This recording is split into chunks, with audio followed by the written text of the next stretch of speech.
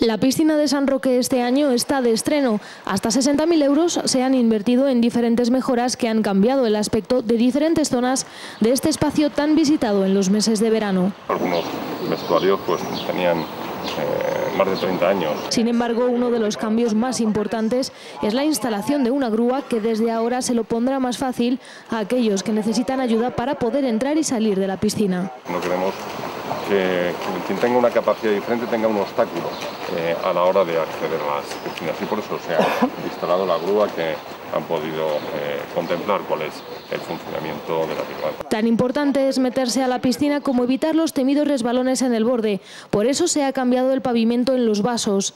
De las sombras tampoco se han olvidado desde el consistorio. Se han instalado sombrillas que compensan la poda de algunos árboles en mal estado. Puedo presumir que 10 años después de estar de alcalde hoy tenemos mayor masa arbórea de la que había hace, hace 10 años y esa sigue siendo un leitmotiv en la actuación que transmito al concejal.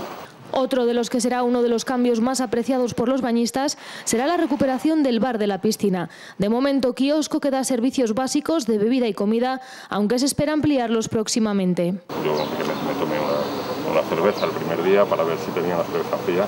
Bar en funcionamiento y también servicio de ludoteca, préstamo de libros y hemeroteca ubicados en este otro espacio. Y como siempre, ya saben, disfruten de los días de piscina cuidando sus pertenencias y la exposición al sol.